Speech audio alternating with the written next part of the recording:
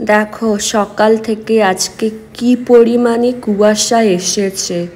মারাত্মক ঠান্ডা আজকে। দেখো, বিশাল কুয়াশা এসেছে। গুড মর্নিং ফ্যামিলি কেমন আছো তোমরা সবাই? আশা করি খুব ভালো আছো। আমরাও ভালো আছি। আর আজকে পনেরোই ডিসেম্বর, শুক্রবার। আর আমি এখন ওখানে রান্না করেছি ফুলকপি আলুর ঝোল। ভাত আর পাবদা মাছের ঝাল আমিও করে নিচ্ছি আমার জন্য। আর সকালবেলা তো দেখলেই যে কেমন ভালো মতো কুয়াশা চলে এসেছিল। এখনও আছে বাট সকালের থেকে কিছুটা কেটেছে বাট আজকে মারাত্মক পরিমাণে ঠান্ডা। আমি যখন আজকে সকালবেলা রান্নাঘরে ছিলাম না তখন এই হুডির এই টুপিটা অবধি মাথায় দিয়ে দিয়েছিলাম। মানে আমার লিটারালি ভালবো এমন ঠান্ডা লাগছে। আর এই যে দেখো দুটো পাখি এখানে বসে আছে, কি সুন্দর লাগছে দেখতে। ওরা প্রায়ই আসে। মাঝে মাঝে এই ব্যালকনিটাতেও আসে, ওই ব্যালকনিটাতেও যায়। এই যে দেখো। তোমরা এবার আঙুলটা আজকে ভালো মতো বুঝতে পারবে। দেখছ এই যে এতটা পরিমাণে ফোসকা পড়বে আমার। এই আঙুলটা তো হয়েছে, এটা তো হয়েছে বাট এটাতে একটু বেশিই হয়েছে। ব্যথা হয়ে আছে পুরো। অনির্বাণ ঠান্ডা লাগছে খুব। প্রচুর ঠান্ডা বলো আজকে? হুম, দেখো এখনও বিছানাতেই আছে। বেশি বাজেনি এখনও কম্বল টম্বল গায়ে দিয়ে। ঠান্ডা লাগছে? হুম। কম্বল থেকে বেরোলে আবার বেশি ঠান্ডা লাগে। আমি আজকে সকালবেলা যখন কম্বল থেকে উঠছি না আমার কি পরিমাণে যে ঠান্ডা লাগছিল বিশাল।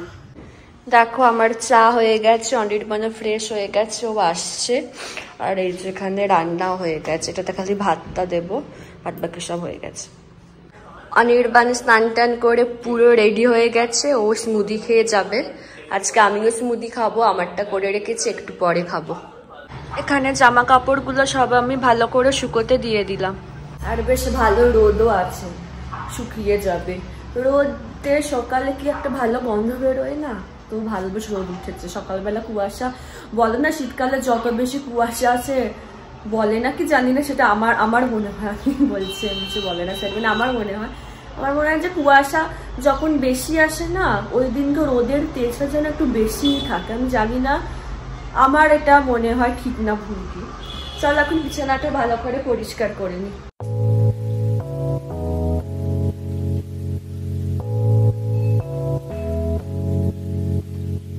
আমি স্নান করে নিলাম আর ভেবেছিলাম আজকে শ্যাম্পু করব, কিন্তু আজকে এত ঠান্ডা না, ওই জন্য আর করতে পারলাম না।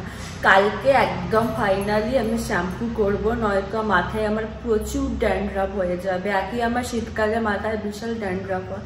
কালকে একদম পাক্কা করব। আর আমার তো সব রান্না বান্না হয়ে গেছে, একেবারে আমিও করে নিয়েছিলাম আমার জন্য। আর এখানে এখন দুধটা আমি জালেতে বসাতে দিয়ে দিয়েছি।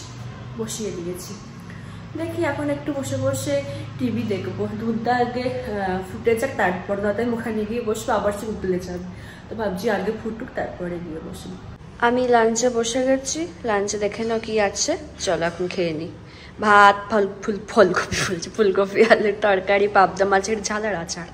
আজকে না জামা কাপড়গুলো বেশ ভালো মতো শুকিয়ে গেছে। সকাল থেকে বেশ রোদটা ভালো ছিল তো বেশ ভালো হয়েছে শুকিয়ে গেছে। এখন একটু কেক খেতে ইচ্ছে হচ্ছে। তো বললাম, না তোমাদের, এখন যখন ইচ্ছা হবে আমি কেকটা খেতে পারব। তো ওপরে যে ক্রিমটা আছে না, ওই তোমার গোলাপ ফুল দিয়ে আমাকে ওখানটা খালি কেটে ফেলে দেবো, কারণ ওখানটা খেলে বেশি গা বমি করে ক্রিমটা খেলে। মানে গা বমি হয় প্রচুর পরিমাণে ওটা খেলে। ওই জন্য ভাবছি যে ওটা ফেলে দেবো। মানে জাস্ট ওপরেই গোলাপ ফুলের ওইটা। আর বাকি কেকটা রেখে দেবো। এই যে আমি এই পোর্শনটার কথা বলছি গোলাপ ফুলগুলোর।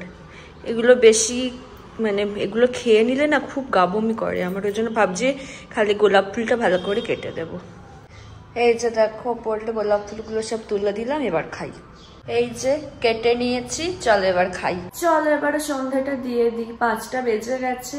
আর কেক খাওয়ার পরে না আবার আপনি কম্বলের ভিতরে ঢুকে গেছিলাম বেরোতে ইচ্ছে করেছিল না। ওই সন্ধ্যে দেবো দেবো হচ্ছিল ভাই পাঁচটা বেজে গেছে ভালো মতো সন্ধ্যা হয়ে গেছে। চলো এখন সন্ধ্যাটা দিয়ে দিই। এবার রান্না শুরু করি।